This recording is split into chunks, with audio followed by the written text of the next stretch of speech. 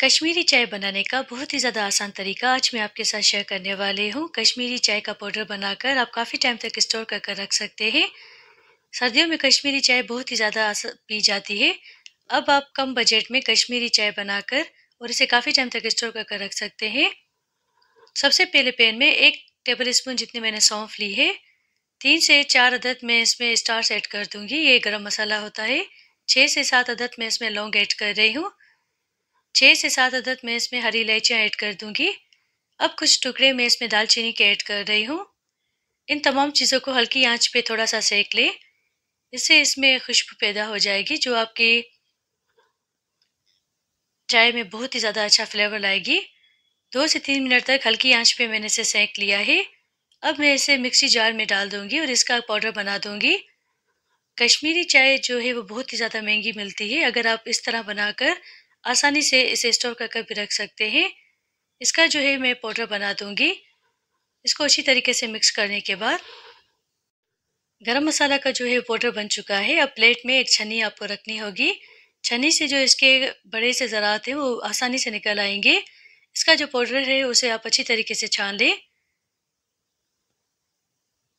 बहुत ही ज़्यादा कम बजट में आसानी से आप कश्मीरी चाय आप बना सकते हैं घर में। अब मैंने कश्मीरी चाय का एक पैकेट लिया है, जो आपको मार्केट से आसानी से मिल जाएगा।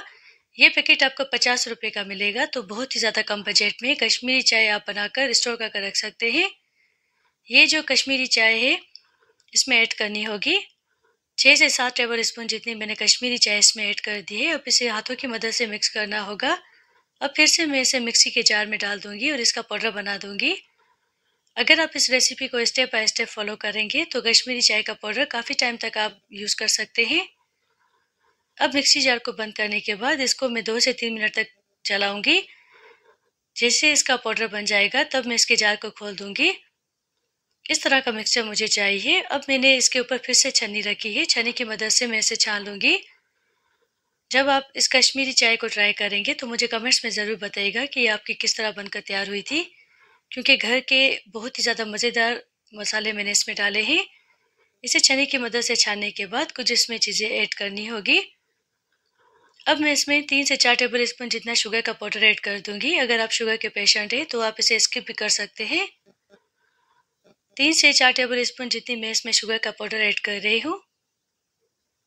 शुगर ऐड करने के बाद अब मैं इसमें मिल्क पाउडर ऐड कर रही हूँ, तकरीबन तीन टेबल स्पून जितना किसी ब्रांड का भी आप ले सकते हैं। एक टीस्पून जितना मैं इसमें पिंक फ़ूड कलर ऐड कर दूँगी, अब इसे मिक्स करना होगा। फिर से मैं इसे मिक्सी के जार में डाल दूँगी ताकि तमाम चीज़ें जो हैं वो अच्छी तरीके से मिक्स हो जाए। ये कश्मीरी चाय बहुत ही ज़्यादा मज़ेदार बनने वाली है और इसका पाउडर जो है वो काफ़ी मकदार में बनकर तैयार होगा। अब मैंने इसको अच्छी तरीके से मिक्स कर दिया है और इसका फाइनल लुक आप देख सकते हैं। कश्मीरी चाय का पाउडर जो है वो बिल्कुल बनकर तैयार हो चुका है।